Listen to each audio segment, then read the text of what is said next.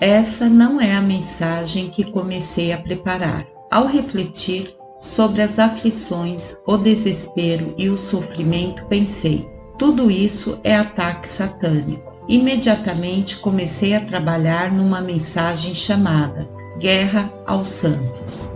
No Apocalipse encontramos Satanás dando poder a algo chamado a besta. Foi-lhe dado também que pelejasse contra os santos e os vencesse. Deu-se-lhe ainda autoridade sobre cada tribo, povo, língua e nação. Apocalipse 13, 7. Ao juntar as palavras, poder para pelejar contra os santos e os vencesse, comecei a raciocinar. É isso. É por isso que o povo de Deus está sendo tão afligido nesse momento. É o poder da besta. É ela que está por trás de toda a pobreza, de todos os problemas familiares e no casamento. Um dragão em fúria está dando força a um governo do mal. Os nossos líderes agora estão sendo manipulados por coligações malignas e grupos de interesse. O diabo está forçando sua programação sobre a nossa sociedade. Isso é uma guerra aberta contra os eleitos de Deus. Trata-se de um inimigo irado derrubando a fé dos santos, levando-os a perder a confiança em Deus. Multidões de crentes estagnaram na fé e outros já foram vencidos. Sua fé naufragou. Ficaram tão desencorajados que acabaram desistindo. Ao olhar o que está acontecendo em nosso país, isso não pode ser negado. O diabo vomitou de sua boca torrentes de iniquidade, produziu um dilúvio de aflições contra o povo de Deus, e muitos estão sendo levados nesse dilúvio. Jesus falou de uma hora das trevas, que teria lugar em favor dos senhores das trevas. Ao ser levado do jardim, ele disse aos captores: Esta é a vossa hora e o poder das trevas. Lucas 22, 53. Em grego, a palavra para hora aqui quer dizer curto período. Nessa hora das trevas, a besta iria dominar Pedro por um curto período. Cristo o havia prevenido. Satanás vai te atacar para te peneirar e provar.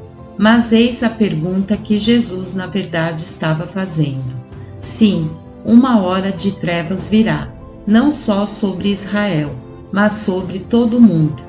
Eu não estarei aqui então, mas o meu espírito estará. Eu estou enviando-o para lhe sustentar em meio a toda provação. Ele habitará o coração de todos os que crerem em mim. Então, quando chegar esse período de trevas, você crerá? Estamos agora vendo o início da última hora de poder de Satanás. Tanto em Daniel quanto no Apocalipse, somos prevenidos sobre essa última hora de trevas brutais que cobrirão toda a terra. E por um curto período será como se Satanás estivesse vencendo em todas as frentes. Agora mesmo há sinais sinistros destas trevas. O nosso país parece ter se entregue ao caos. A televisão e a internet imundície para dentro dos lares. As instituições que sustentaram nossa sociedade parecem estar desmoronando e caindo. O mais trágico é que Satanás parece ter levado a igreja à derrota. Lançou um espírito de morte sobre a casa de Deus, tal que multidões gritam: Não consigo achar uma igreja onde o espírito esteja agindo por todo lugar onde procuro não há fogo, não há convencimento da parte de Deus. Está morto. Mas a verdade é que a Satanás foi dado só um curto período. É por isso que ele está trazendo o máximo possível do inferno. Porém, Deus previu tudo isso. Ele não foi pego de surpresa por nenhuma dessas iniquidades que estamos vendo. Não, ele sempre teve um plano para o seu povo, o tempo todo. Ele formulou esse plano antes da criação, e é um plano não apenas para a nossa sobrevivência, mas para que vençamos. Só uma coisa conquista e dissipa as trevas, e isso é a luz. Isaías declara: O povo que andava em treva viu grande luz. Isaías 9:2. Igualmente, João declara: A luz resplandece nas trevas e as trevas não prevaleceram contra ela. João 1:5. A luz representa compreensão. Quando dizemos Vejo a luz, estamos dizendo, agora compreendo. Você entende o que as Escrituras estão dizendo? O Senhor está prestes a abrir nossos olhos, não para ver um diabo vitorioso, mas para receber nova revelação. O nosso Deus nos enviou o seu Espírito Santo, cujo poder é maior do que todos os poderes do inferno. Maior é aquele que está em vós do que aquele que está no mundo. 1 João 4:4. Agora, no Apocalipse, lemos do inferno vomitando gafanhotos e escorpiões de grande poder. Lemos de um dragão, bestas, chifres, bem como de um anticristo que deverá vir. No entanto, não sabemos o significado de todas estas criaturas. O fato é que não precisamos saber, não precisamos nos preocupar com o anticristo ou a marca da besta. Vive em nós o Espírito do Deus Todo-Poderoso e do seu Cristo.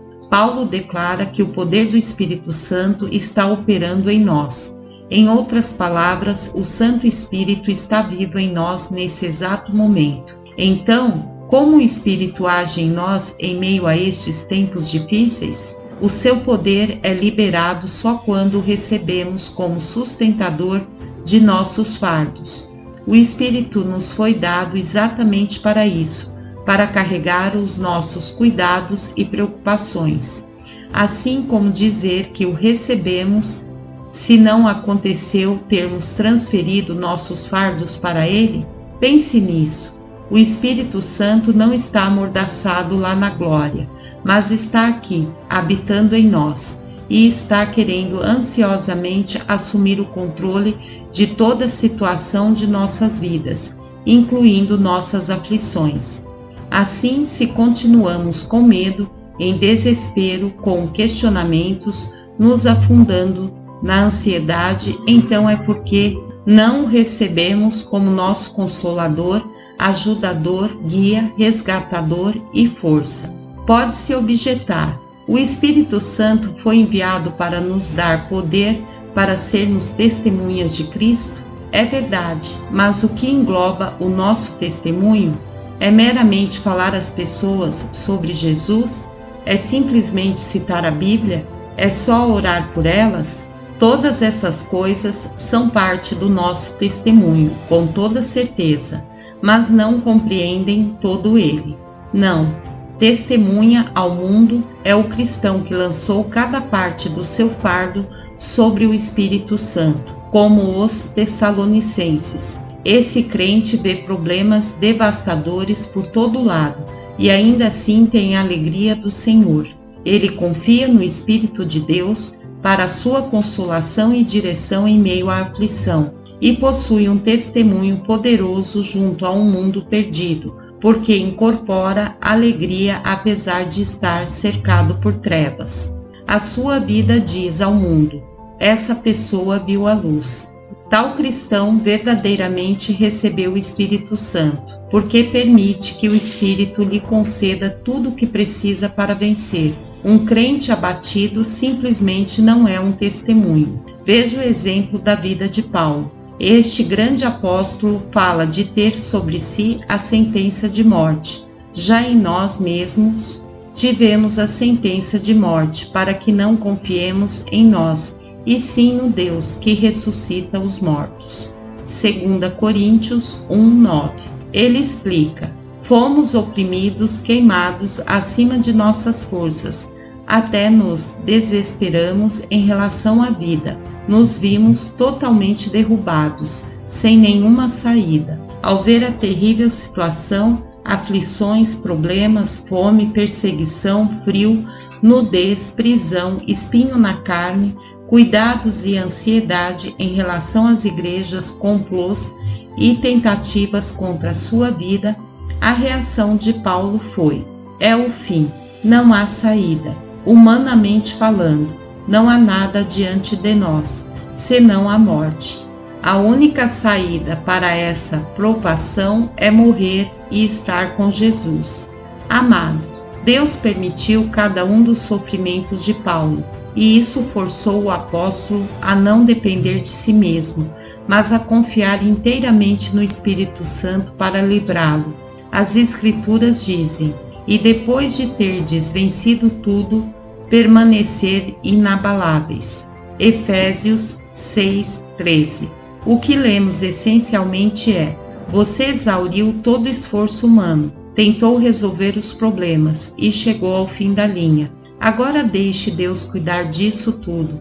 Ele realizará o teu livramento pelo Espírito que habita em você. Paulo está falando de algo mais que um passivo suspiro do tipo: Ah, vou confiar em Deus. Não, ele está falando de você tão fragilizado, tão resignado, que tem de depender de um Deus que ressuscita os mortos. 2 Coríntios 1:9. A conclusão dele é: unicamente Deus é capaz de me tirar desta terrível situação de morte. Somente o seu espírito pode ressuscitar um modo inteiramente novo de libertação, o qual nos livrou e livrará de tão grande morte, em que temos esperado que ainda continuará a livrar-nos. 2 Coríntios 1:10. Que tremenda afirmação! Paulo está dizendo: o Espírito me salvou de uma situação desesperadora e está me salvando agora e continuará a me salvar em todas as minhas aflições. Vou totalizar tudo isso. Receber o Espírito Santo não é evidenciado por alguma manifestação emocional.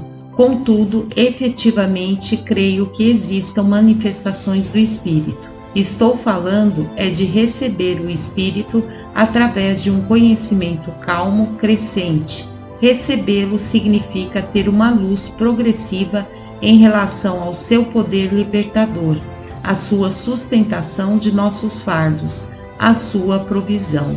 Repito as palavras de Pedro: pelo seu divino poder, nos têm sido doadas todas as coisas que conduzem à vida e à piedade pelo conhecimento completo daquele que nos chamou para a sua própria glória e virtude. 2 Pedro 1:3. Segundo Pedro, o divino poder do Espírito não vem como uma manifestação. Ele vem primeiro pelo conhecimento completo daquele que nos chamou, porque todos nós temos recebido da sua plenitude. João 1:16. Além disso, o Espírito Santo não é totalmente recebido enquanto não estiver inteiramente no controle.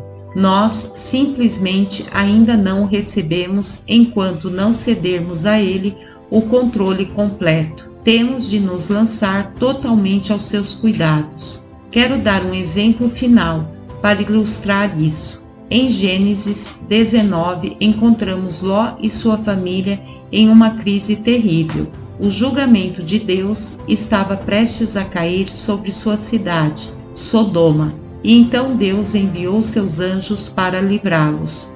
Ló abriu a porta a estes mensageiros do Senhor, e eles entraram. Eles tinham o poder dos céus para livrar toda a família, mas os anjos não foram recebidos. Veja, a mulher de Ló não concebia mudar de vida ao ouvir os anjos insistindo com o marido para deixar Sodoma, ela deve ter pensado: Não quero deixar minha bela casa, meus móveis, os meus amigos.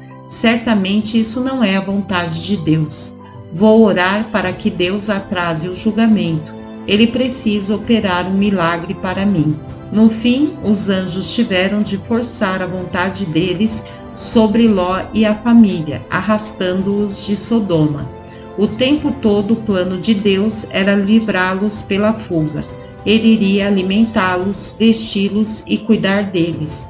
Mas, como todos sabemos, a mulher de Ló olhou para trás e morreu, se transformando numa coluna de sal. A mensagem dos anjos é clara. Se você quer que Deus esteja no controle, então terá de abrir mão do seu reinado. Se você o busca para ser livrado, tem de abrir mão de seus planos e querer seguir o caminho dele. Resumindo, o Espírito Santo não usa seu poder para livrar os que duvidam. A incredulidade aborta a sua obra. Temos de estar desejosos de deixá-lo fazer mudanças em nossas vidas caso esse seja o novo escolhido por Deus para nos livrar. Em minha opinião, hoje muitos crentes não experimentaram livramento porque estão se prendendo a seus próprios planos. Eu lhe pergunto: você quer deixar o Espírito Santo dirigi-lo e guiá-lo? Você não o recebeu a menos que tenha ido até ele entregando cada um de seus fardos. Insisto, Vá orar e cite cada uma das crises que está enfrentando. Está aqui, Santo Espírito. Passo a ti esta situação. Eu confio que o teu poder habita em mim. Eu não vou perder o sono com esse assunto. Eu o dou a ti. E então confie. Você simplesmente tem de tirar os olhos da sua situação. Sim, há trevas em toda volta, mas você viu a luz você quer confiar no Senhor para cuidar de você? Creia na palavra que ele lhe deu, o qual nos livrou e livrará de tão grande morte, em quem temos esperado que ainda continuará a livrar-nos. 2 Coríntios 1, dance.